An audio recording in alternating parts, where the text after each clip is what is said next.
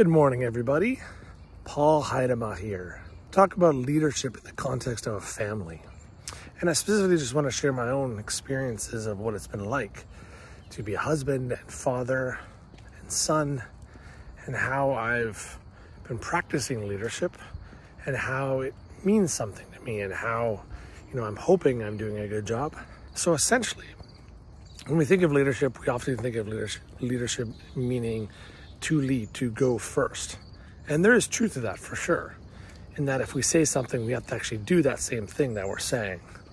So if I express to my son that I need to be patient and forgiving and compassionate, and then I'm not compassionate and forgiving with my son, then how does that demonstrate leadership? It doesn't.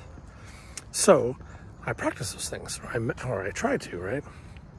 You know, sometimes as a father, and I'm sure all your fathers and mothers, you all have the same kind of experience, is we try to show up the best we possibly can. You know, we have this plan in our in our minds. In the morning, maybe we'll say, "Hey, you know, I'm up before my kids. Looking forward to really showing them the best I can and really being there for them and listening and learning from them. You know, and being a good guide and a good example." And then partway through the day, something happens and it irks you. It's like, oh, I don't like this.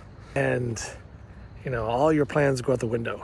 You know, I'm short, I'm, I'm unkind, I don't respond well, you know, I don't demonstrate patience or compassion or kindness or not as well as I could.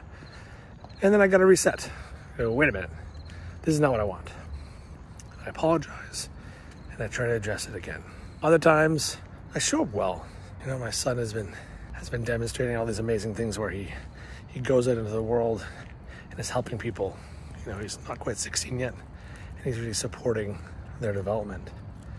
And it's fascinating to kind of hear and see what this is. Morning. And it's fascinating to see how he demonstrates that with others. And I was over at a family's place and he was helping them and has been helping them for months. And they said to him, you know, thank you, Tyler, for being you. Thank you for being just you. And that really, you know, made me think about what it means to be a leader and how you show up.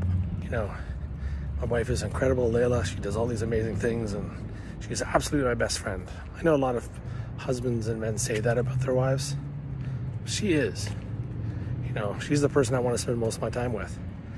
You know, when I'm asked to go out and do something and go with friends, I like doing that. But often I just want to hang out with my wife because she's the one that I'm most excited to be around. She's the one that brings out the best in me. She's the one that I want to bring out the best in. And so I think that's, you know, as, as, as individuals, we have the ability to be great leaders in our workspace.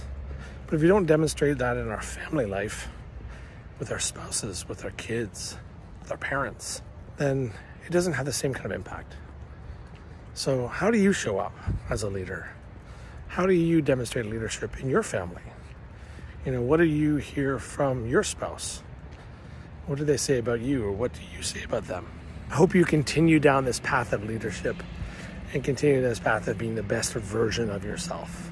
Have a wonderful day.